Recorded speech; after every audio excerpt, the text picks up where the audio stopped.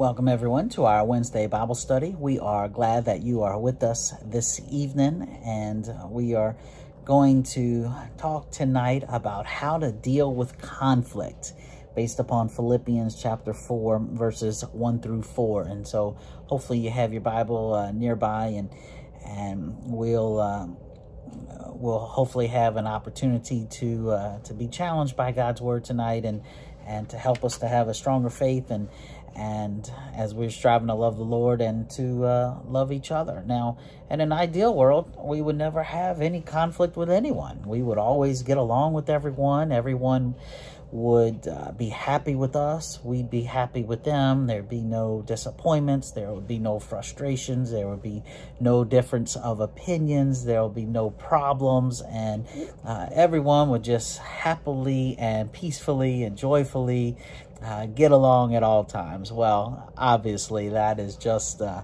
not going to happen. Uh, the reality of it is, is that uh, we are human and uh, we tend to uh, be we tend to be selfish. We tend to be greedy. We we tend to be impatient. And uh, not to say that all conflict is a result of those things but uh, when conflict does arise it, it does challenge our our values. It, it challenges our ability uh, to uh, maintain a sense of faithfulness and maintaining a sense of of peace uh, and joy. Uh, I'm convinced that some people thrive on drama and conflict. I, you know, I'm convinced um, that some people just get bored with uh, with calmness. They get bored with peace, and and it's as if they get so riled up with peace that they have to go around and, and create some conflict just to have something uh, to argue uh, about. Well, hopefully that's not our style, but uh, the Apostle Paul, in his writing to the church at Philippi, is addressing a situation that evidently has caused uh, a great a bit of uh, concern and commotion uh, as he uh, names two of the Christians there who are having some some problems and and and so this is what he has to say and I'm in Philippians chapter 4 beginning in verse number 1 therefore my brothers you whom I love and long for my joy and crown that is how you should stand firm in the Lord's dear friends. I plead with Euodia and I plead with Syntyche to agree with each other in the Lord. Yes, and I ask you, loyal yoke fellow, help these women who have contended at my side in the cause of the gospel, along with Clement and the rest of my fellow workers, whose names are in the book of life. Rejoice in the Lord always. Again, I will say it, rejoice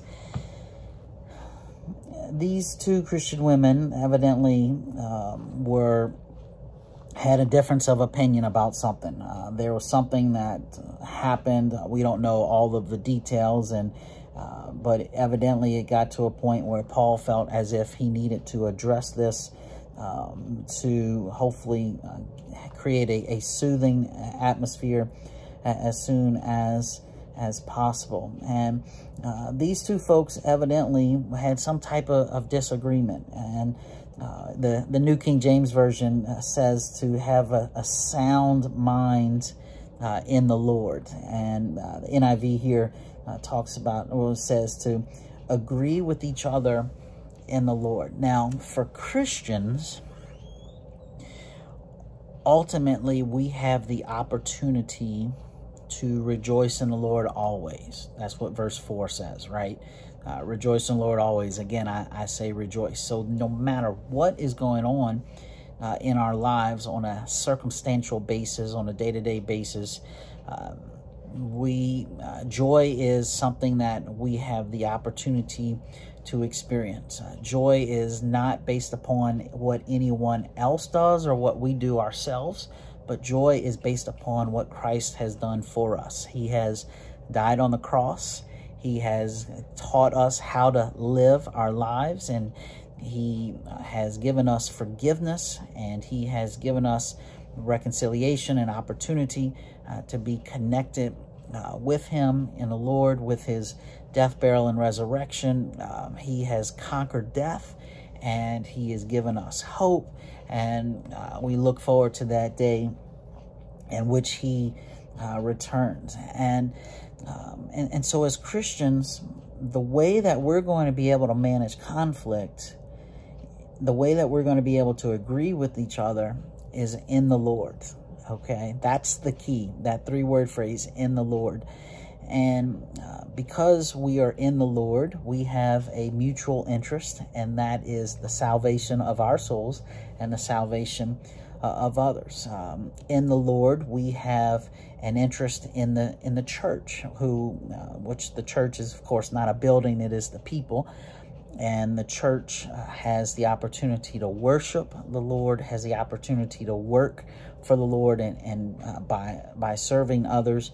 And uh, we don't want anything in our lives, uh, any of our wants or or uh, ambitions to get in the way of the work of the Lord. And and uh, when Christians are in conflict with each other, it not only creates havoc for them uh, personally, but it also creates havoc and it, it, it tarnishes, uh, it potentially has the uh, ability to tarnish the, the image and the reputation of the church. And uh, that may slow down the work of the church and um, most drastically could potentially uh, result in someone not being a part of the church as a result of uh, being discouraged uh, by um, um, by people who claim to be Christians who are just always in uh, conflict with uh, each other. And, and, and so we want to be uh, of the same mind. Okay, so I, I, want you to think about,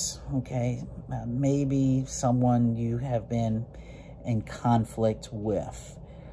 Um, what what can you a starting point is to try to figure out what do we agree on. Well, you may be saying, well, I don't agree with nothing they're doing. I can't agree with anything. And, uh, okay.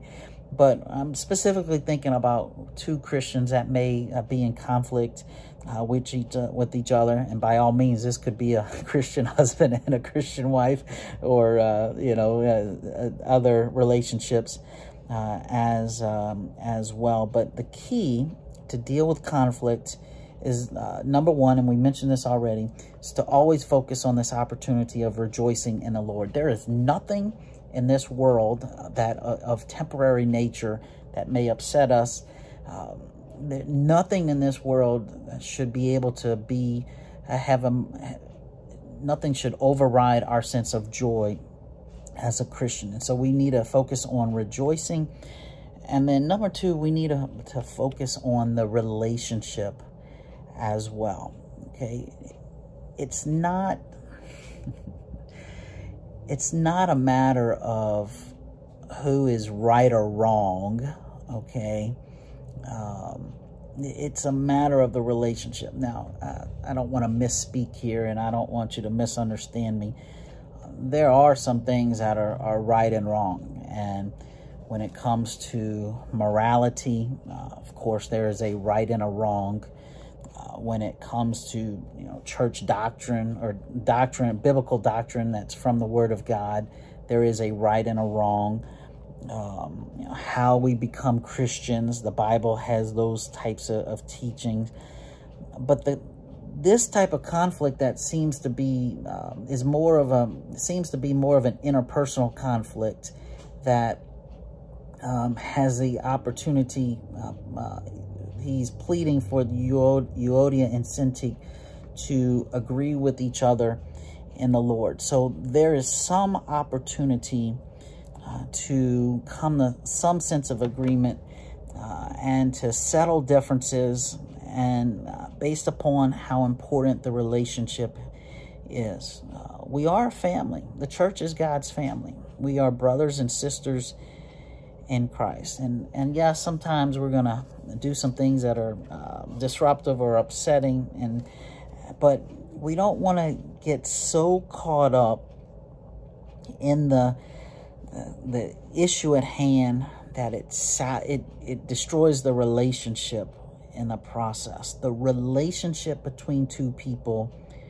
is more important than the difference of opinion or the more important than the issue itself. Um, people who are Christians and are acting in a Christian way uh, understand the difference between addressing the problem as opposed to attacking the person. Um, there's uh, there's a lot of temptation involved when conflict arises in which we just start assaulting or attacking um, another person, either physically, verbally, or emotionally, where we just go out and we, we just go to war. We're on one side, they're on the other side, and they become enemies. And as results of it, um, the relationship uh, is severed. Uh, I remember uh, talking to some folks a while back, and um, basically this fella had he had said that um, over 30 years ago, he and this other person, um, who he was very close to, um, they stopped speaking to each other. They haven't spoke to each other in over 30 years. And here's the thing. This guy can't even remember what it was that they got upset about.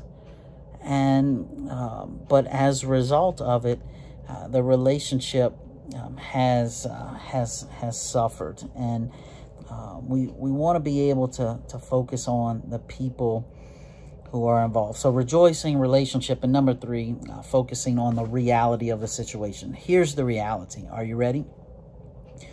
You're human. I'm human. Everyone's human. We're not always going to agree on everything. We're going to have our difference of opinion. We're going to have our different perspectives. Sometimes we, I, sometimes people feel like we got to agree all the time on every single thing, and um, but that's not the case. In fact, sometimes it's important to be able to agree to disagree. I, I remember uh, sitting in on a meeting, uh, all Christian fellas. Um, this is a while back, and and uh, I knew there was going to be uh, some uh, difficult things uh, being discussed, and and I remember this group of Christian fellas. Um, I believe this was back at during undergrad college days, and I, I forget exactly what year it was, but it's probably something, um, probably second or third year or so, and uh, it's probably social club related of some sort. But I, I remember that this potentially contentious meeting, it started off with prayer